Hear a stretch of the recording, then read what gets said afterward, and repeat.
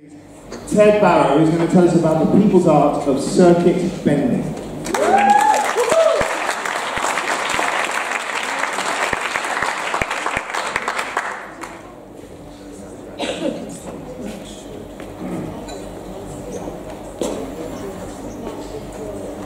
Okay, um, in the chasm between Mac computers and PC, I've lost some of the text that belongs up there. Um, so this is just an introduction to people's art of, circuit bending.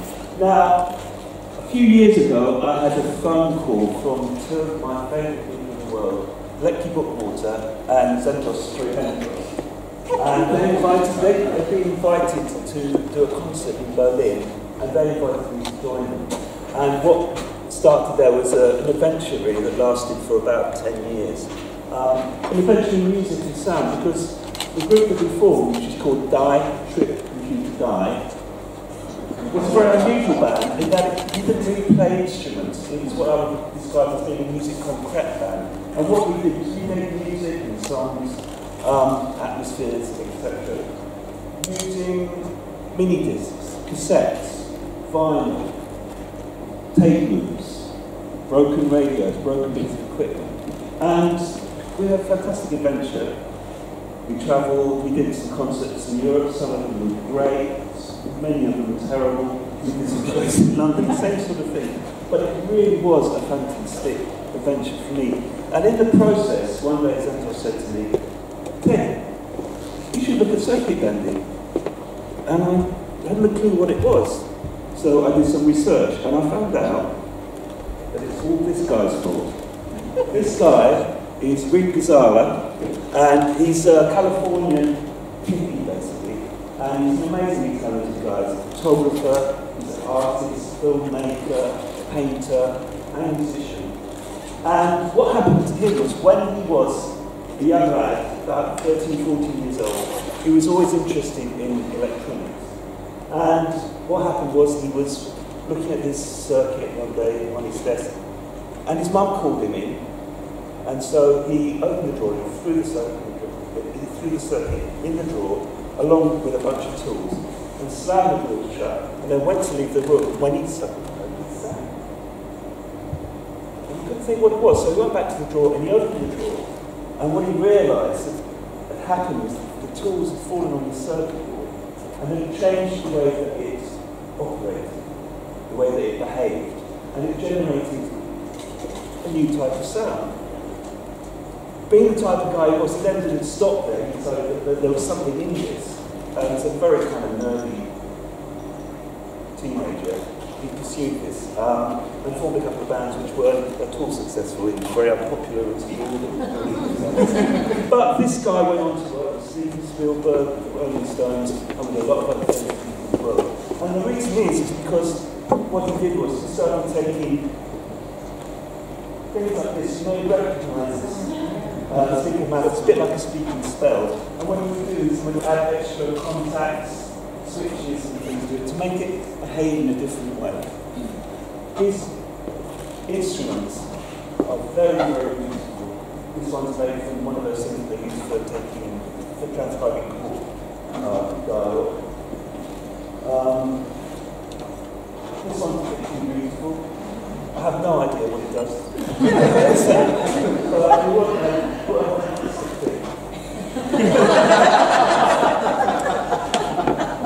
And this is another one based on, on uh, some toy. The lovely thing about these instruments is not only do they have really extraordinary sound to them, but they also have extraordinary interfaces. And if you are a traditional musician, keyboards or percussion or strings, these things are very accessible to people who, who don't play instruments, who don't have that, that knowledge. And I certainly fall into that category. Um, these instruments are very beautiful, very functional. My instruments, I don't call them instruments, I call them instruments. My, my instruments are incredibly ugly. They're held together with bubble gum and tape and and they never last long. These instruments last. So that's really where our connection starts to end. But the principle behind what he did um, is what he calls anti-theory. And he's written the Bible on circuit bending. Um, it's available as a download from Russia. Um, um,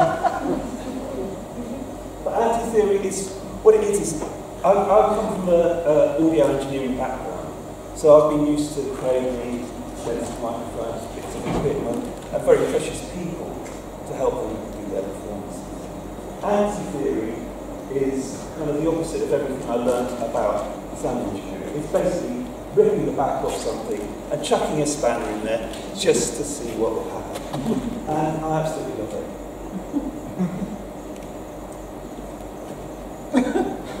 Getting something, there were words there, and um, starting, that was it. Getting started. How do you do this stuff? So, well, well, the first thing you've got to do is you've got to go and to a charity shop, to a jumble sale, a car boot sale, and you've got to buy some stuff. You've got to buy some horrible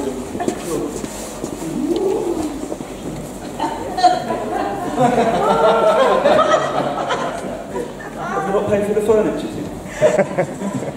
um, or uh, one of these kind of foamy educational toys for babies, um, or one of these kind of little toy. And then, this is what you do. You basically, this is the sort of thing we're looking for, just a toy, plastic toy cheap instrument. Never work with children. and then what you do is you open it up, stick some batteries in it, open it up, and just using a probe, you just go exploring around the circuit. Yeah? And then what you'll find eventually, there'll be a couple of points where something happens. Mark those points, you solder a wire between, and then you insert a switch or some other electronic component. It doesn't matter that you don't understand what's going on because it's an anti-theory exercise. Yeah? You just do it and you find out what happens. A lot of machines have died in my quest better sound. Um, but do you know what? When it works, it's really, really magic. There are some ground rules though. Um, one of the ground rules is that you should try and be as ecological as possible. So you're using old stuff and possibly recycling as much as possible. And also,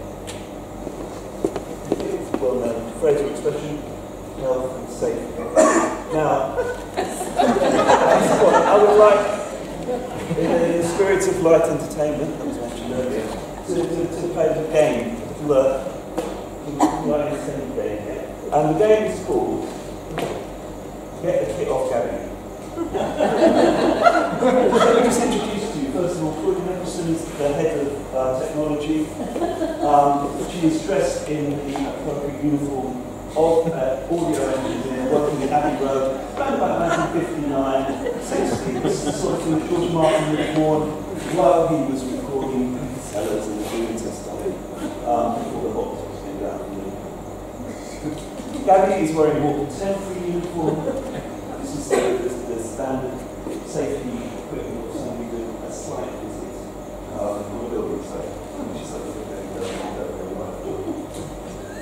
the name of the game is Get a Hit Off Gabby, and the first thing I'm going to ask you is, based on what I've told you already about circuit and what it involves, do you think Gabby needs to wear a high-vis coat?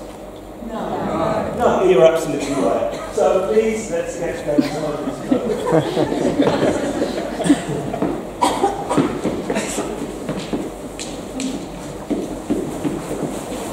Fantastic.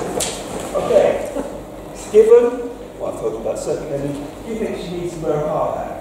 No. Well, you're right, but probably for the wrong reason.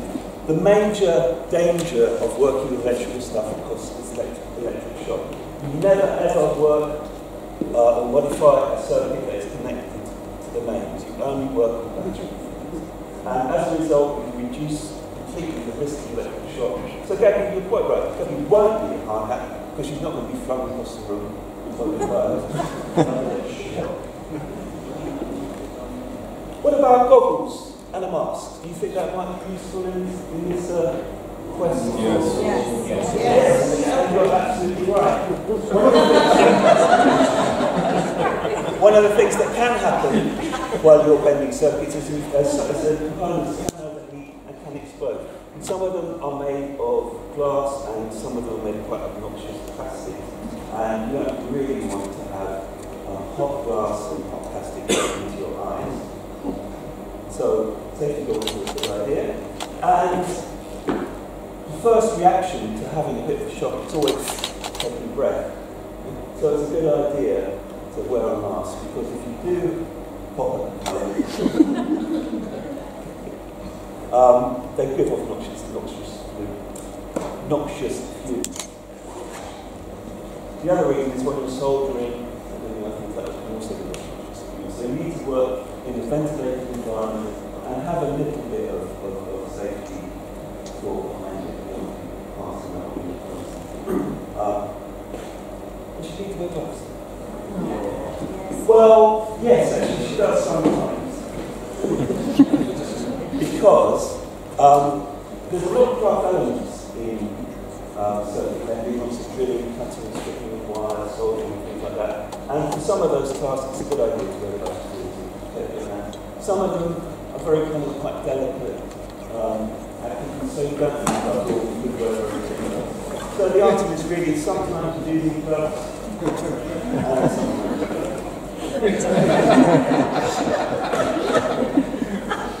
It's always a good idea to wear sensible shoes in case you drop something with your feet. Okay? Can you please give the Bendettes?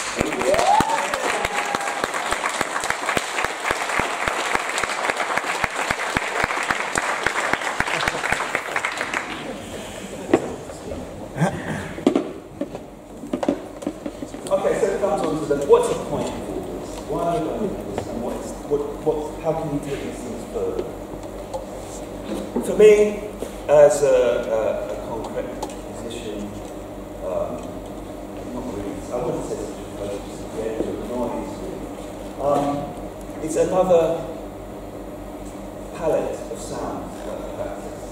And what I really like about it, I've always enjoyed making things, whether it's been acoustic instruments, drums, string things, um, and building these, these circuits and extracting the sounds from it's really, really pleasurable. There's just something lovely about it. There is a high failure rate. Often things fail, and, and you know, have been full of, of, of stuff that just has to go to uh, But when it works, when it really, really works, it's absolutely stunning. Step on from taking um, sound equipment, for me, it was to start working on video equipment and start manipulating circuits. It's a cheap way of doing some quite fancy stuff. And it also, as I say, it adds to the vocabulary of sounds I have. Now, I'm going to play you a piece in a moment. It's a bit of a sadness because it's about austerity. And for me, this, this, this policy that we're following on is very, very. And, you know, some people can pick up a guitar and they can make you cry, or tin whistle or something, and they can evoke these emotions within you. For me, the tragedy of the kind of tearing apart of the economic and social fabric of this country through a policy like austerity is much, much painful, painful than that. And what I find is that these instruments give me vocabulary that I like to have in order to express that so I'd like now just to finish off by playing a piece features both circuit sounds and circuit breaking uh, videos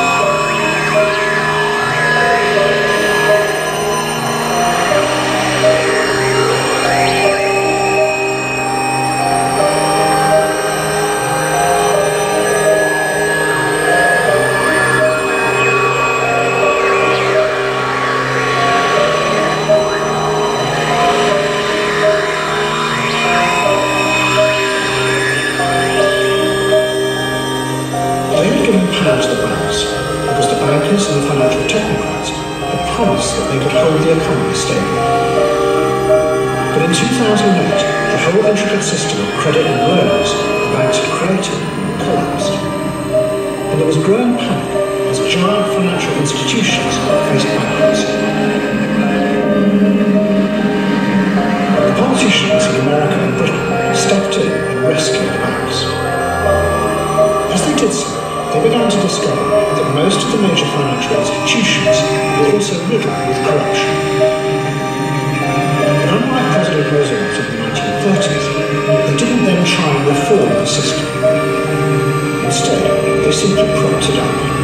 Literally pouring billions more pounds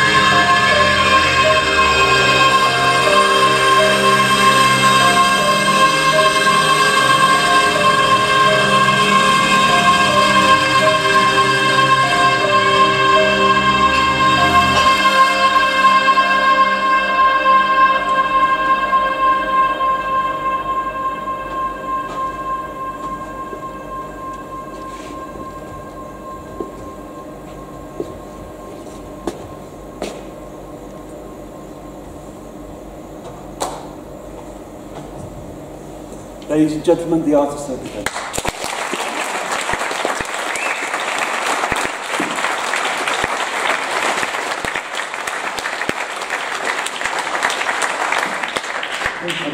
Thank you so much. So, uh,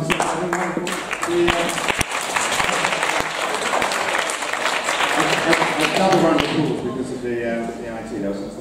But uh, I have one of those, um, those Simons, Simon? Oh, Simon says. Yeah, have you, have you circuit bent that sort of stuff? I haven't, no, no. Yeah. There, there are some toys that I haven't used yet. So. Ah, As soon as I find them, you'll do it. You'll do it. Does anybody have any questions for Ted? Any any any toys that you've uh, circuit bent or that you ah yes, I can see.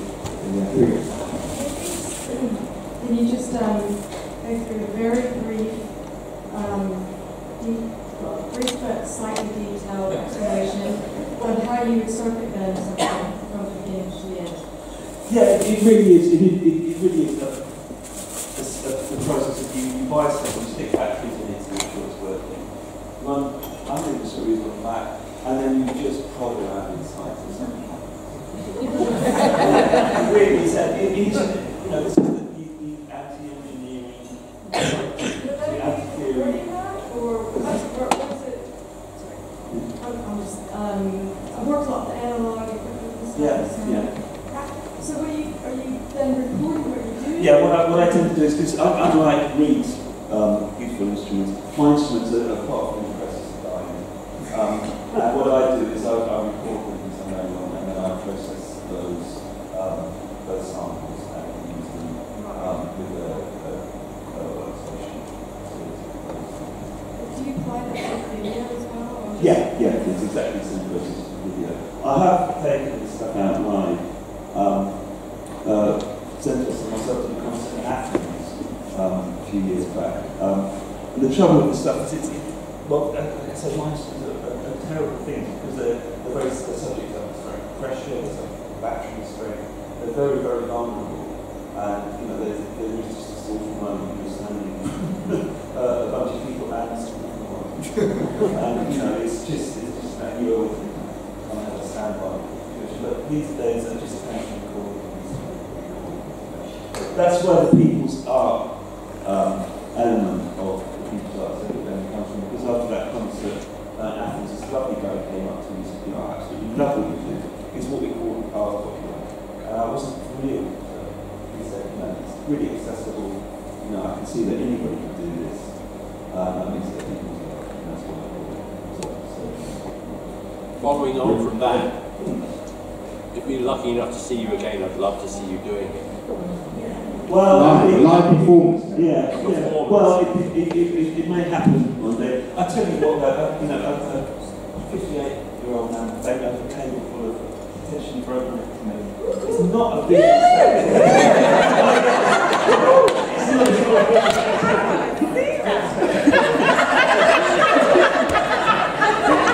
However, Maybe you could, maybe you could practice it first and make sure it's going to work. that's, that's the point. I can't, I can't make sure that it's part of the element of it. You know, the background. It's okay, Ted, I'll dress you up. Um, you know, it needs visual elements of some sort. Just where from?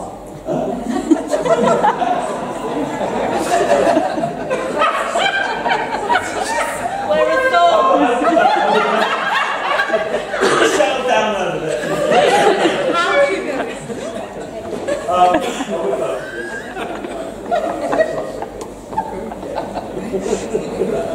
Any, any other questions apart from the actual date when Ted's going to do this? any, any other questions for, for Ted and the, uh, the I artwork? just wondered who's the ultimate Swede? Sorry. Who's the ultimate Swede? Uh, yeah, could be it. Could be it. Yeah, I, I, I won't be doing it live. but we, uh, we- we know. So any, any other questions for uh, any other circuitry related or, or, or uh, we have we, ah, there's, there's one more, one more, one final question and then we're going to, then we're I've never asked you this. Do you have designs to create one item that is as beautiful and functional as that bloke? Um, which bloke? I, I, I do have I do have one or two um, instruments that have lasted actually over ten years now, um, but they're just not as beautiful. I they're just not as beautiful as his work. I mean, he's, you know, he, he has these playing techniques and stuff, and um, very much admire for this. I come from an audio background, and it, it's the audio stuff that really got to me first, um, and then later video stuff. Instruments themselves, I need somebody else to do to do that kind of to apply that sort of that- I'd love to do it. Maybe, maybe that's the next challenge. Excellent. Well, I'm gonna I'm gonna stop it there. But uh, can we thank Ted again for a wonderful